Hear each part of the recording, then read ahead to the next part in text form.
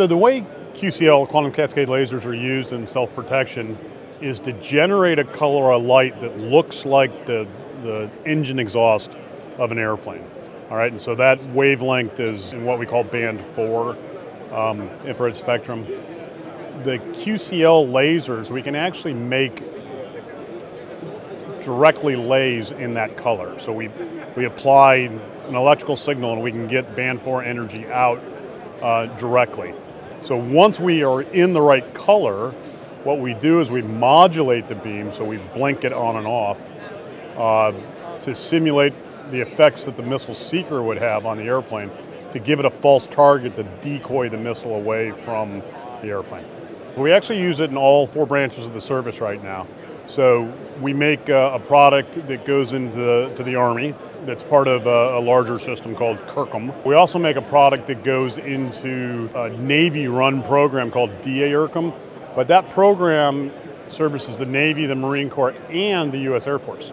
So we're actually using these quantum cascade lasers across the entirety of DoD.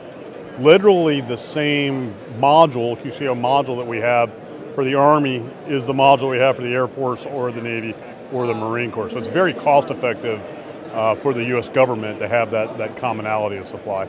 The immediate market that, that we plugged this into was kind of scientific research, right? Looking at uh, how different molecules emitted energy in spectrum. So we would excite the molecule with the laser, it would relax, give a color off, and you can see what type of chemicals are inside a sample, for example. Since we were doing that in the Band 4 region, the DoD labs realized that they wanted that same capability in infrared countermeasure systems. And so we, we were able to take that fundamentally commercial activity, transfer it into the Defense Department, right, to do infrared countermeasures. It works quite well. But it's not limited to, to an airborne platform. So for example, we have a, a product that we're doing for the night vision labs for the US Army uh, that's a ground-based application. So we do it in the mid and long wave using the QCL modules to do exactly that. We've used QCL modules to make beacons to go on special operations boats so they can be tracked you know, clandestinely day or night, right, in all conditions. Uh, so really not limited to airplanes.